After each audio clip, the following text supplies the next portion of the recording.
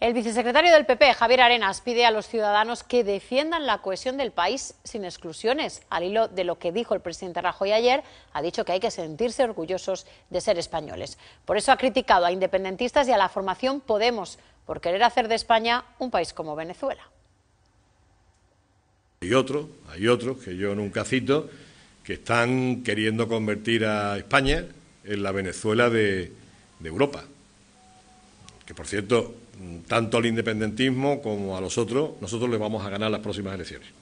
Vamos a ganar las municipales, las autonómicas y las generales.